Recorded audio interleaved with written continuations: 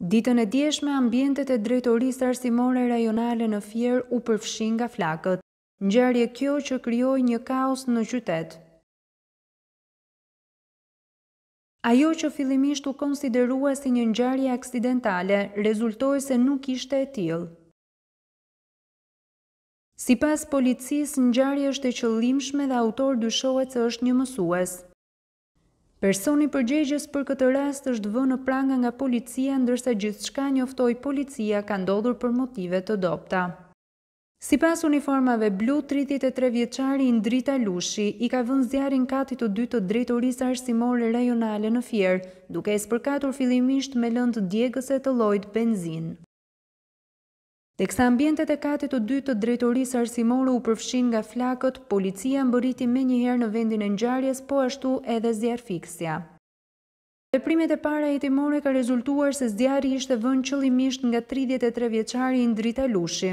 Burimet thanë se tridhjetë e tre vjeçari kishte aplikuar më herët për t'u punësuar si mësues nëpërmjet portalit, vend të cilin nuk e ka fituar.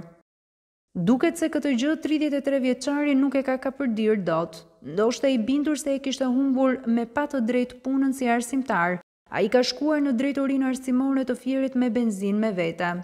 Me t'u gjendur në katin e dytë të drejtorisë, rreth orës pesëmbëdhjetë e dhjetë të ditës së djeshme, i riu ka spërkatur me lëndën djegëse ambientet përreth dhe i ka vënë flakën. Menjëherë më pas është larguar në drejtim të paditur. Duke qenë se identifikimi i të dyshuarit u bë menjëherë, ai u kap nga policia. Sakaq, burimet thanë se si pasojë e flakëve në ambientet e Drejtorisë Arsimore janë shkaktuar dëme materiale, ndërsa janë djegur disa dosje.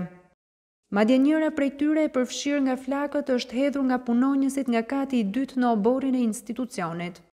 Më pas, policia ka marrë në pyetje punonjësit të cilët kanë qenë të pranishëm momentin e ngjarjes. Ata kanë treguar se autori i saj është tridhjetë e tre vjeçari i cili u ka thënë se ishin ata fajtorë që ai nuk punësohej.